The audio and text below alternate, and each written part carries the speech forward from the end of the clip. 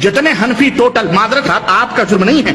आपको किसने कहा हनफी बनने के लिए? आपको कहा गया कि अल्लाह के नबी की इत्तबा करो। आपको मौलवियों ने हनफी का प्याला पिलाया हुआ।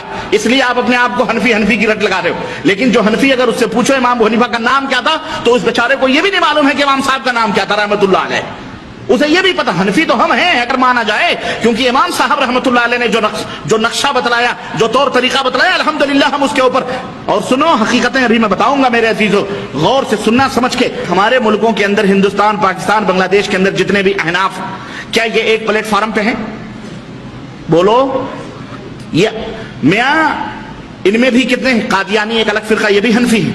इसमें कोई दो राय नहीं। कादियानी भी हनफी हैं, शियों के अंदर भी बात फिरके हनफी हैं, अहनाफ हैं। नंबर दो, नंबर तीन, बरेलवी अलग हैं और देवबंदी अलग हैं। और देवबंदियों में भी अब तो दो ग्रुप हो चुके हैं।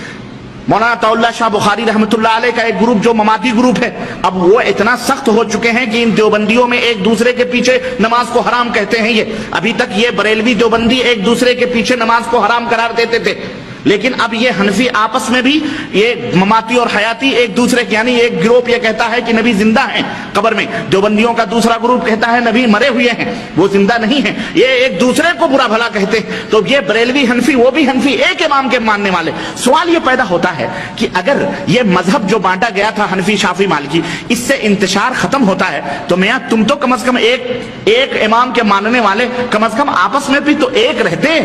तुम क्यों मुंतशिर हो? तुम, समझ आ रही कि नहीं आ रही?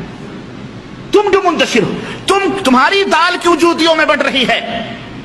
लेकिन आप भी बहुत बड़े वकील सफ़ाई बनते हैं। जब भी बात आती कहते जी, हमारे मौलवी साहब ने फरमाया, तेरा कौन सा मौलवी? तूने पैदा किया है, तेरे जिसम से पैदा हुआ वो।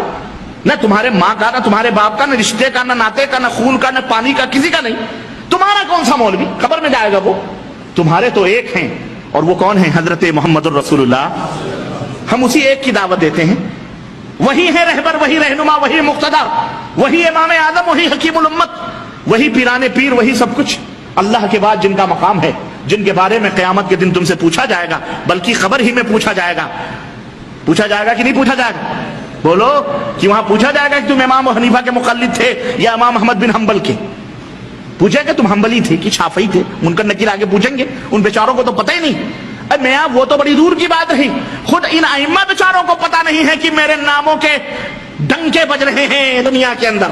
उन गरीबों को खुद पता नहीं है। उन बेचारे इमामों को खुद पता नहीं है।